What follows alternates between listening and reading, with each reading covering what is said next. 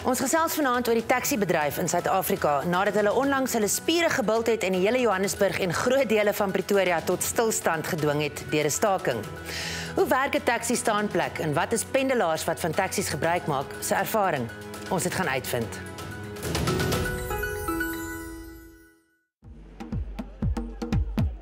Die Randburg taxi staanplek in Johannesburg bedien daagliks tussen 40000 en 60000 pendelaars. Here in Randburg uh, taxi mall rank we've got 12 associations plus the hawkers that side. Those associations they've got different routes from Randburg going to different places like We've got the routes here to Cosmo, we've got routes here to Johannesburg, to Alexandra, to Ivory Park, even long distance taxis here to Pietersburg and also to Mafikeng and Kopela, that side of Northwest and Brett. Sonder beamptes binne die staanplek sou dit chaos gewees het. Marshals, they help taxis. When the taxis enter the rank, they take note of the registration and then as time goes, they will call those uh, number plates of taxis to come on the platforms to load passengers to different places. Norman Galushi is een van die beamptes. I start in the morning it's at uh, half past six, then I knock off late at half past seven. My job is to make sure that my passengers they are riding taxi on the safety way. I must have to check all of the staff to check not overloading, check the front doors, sliding doors, that they are operating well, and check the ears of the children that they can't give us a problem of overloading.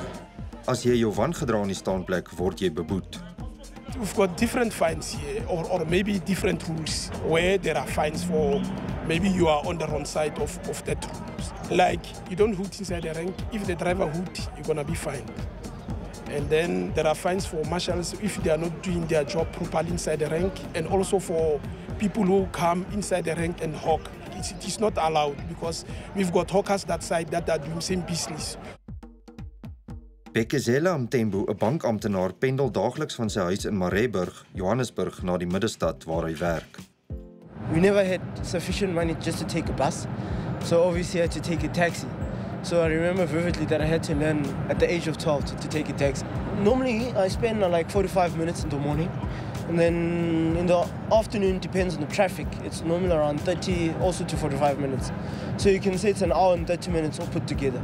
The reason why I don't use a car is like normally my monthly expenses when I use a taxi is like 400 rands, as opposed to when I use a car, when I calculate it monthly, it's a thousand rands. So it's like I save 600 bucks from that. The most convenient thing is that you get to relax more than anything. Ongani Rasmeni is 'n barista van Kaapstad wat elke dag van Gugulethu na Groenpunt waar sy koffiewinkel is, reis. I've been using taxis since uh, from day one, since I was young. And yeah, my dad was uh, also a taxi driver back in Eastern Cape, where I come from. You have to get up very early. I wake up uh, half past four every morning and then get home like half past six. It's already dark. I spend 15 minutes from home to work and I spend like, I think 30 minutes from work to home. The worst thing is when they not driving in a good way and then they don't wanna listen, yeah. That makes me very scary. When it comes that, man, like we actually don't know if the driver has the papers or we just passengers, we get into the taxi, we wanna go wherever we wanna go, and then sometimes all to find out like the driver, some of the drivers, they don't have permit, they don't have license. And sometimes driver, they could like run away, they could stop and run away when they see traffic, like they could like run away and then leave us like in the taxi. I had an accident, but the taxi was from PE to Queenstown. And uh, five people died. Eh? I was with my sister also there, but we survived. We survived and yeah, thanks God for that. Hoe beïnvloed 'n staking pendelaars? When the taxi strike, it's very difficult. Eh? There's no business for me. It is very dangerous when a taxi strike because uh, there's lots of people died because of their fight. Sometimes we hear that from the radios, but sometimes it just happens without us knowing. You come to the station and uh, you you will hear about your friends that like tomorrow is gonna be strike because those guys they don't like warn us when they gonna start the fight. They just do it.